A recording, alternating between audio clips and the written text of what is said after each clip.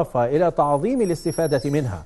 جاء ذلك خلال مؤتمر صحفي لإطلاق الموقع الإلكتروني تحضيرا للأسبوع العلمي الزراعي الإفريقي الثامن والذي سيعقد أكتوبر القادم.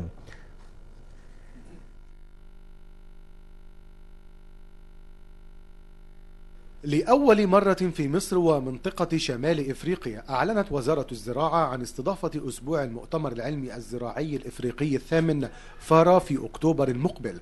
وذلك بهدف فتح أسواق جديدة مع الشركاء في القارة السمراء. وزير الزراعة عز الدين بستيت أعلن في مؤتمر صحفي أن الأسبوع العلمي الذي يعقد على مدار أربعة أيام سوف يشارك فيه 22 دولة أفريقية و1500 ممثلين عن دول أخرى لجمع الأطراف المعنية بالعلوم الزراعية الإفريقية. عمليات التصنيع الزراعي ستكون أحد المحاور الهامة في هذا المؤتمر.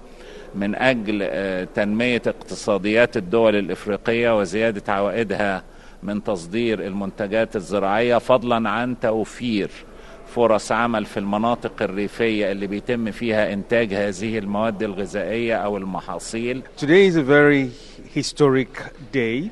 اليوم نشهد حدثا تاريخيا في مجال الزراعة ونحن هنا للمشاركة في الاطلاع على انجازات وزارة الزراعة وخبراتها في إنتاج المحاصيل خاصة في ظل رئاسة مصر للاتحاد الإفريقي. وعلى هامش أسبوع المؤتمر سوف يتم تنظيم معرضا لتبادل الخبرات والمنتجات فضلا عن مناقشة خطة التوسع في الاستثمارات الزراعية في القارة الإفريقية.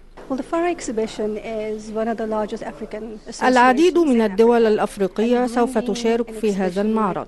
وسوف يكون هناك تبادل لأحدث التقنيات الحديثة في الزراعة. ومن الضروري أن نهتم بالزراعة والتنمية الزراعية لأنها تبني اقتصاديات الدول. اولا هيفتح أسواق في الدول الإفريقية للمنتجات المصرية وده الذي وده اللي بيعنينا من إقامة معرض على هامش المؤتمر. هيبقى في field trip على هامش المؤتمر للمعنيين في ال activities المختلفة.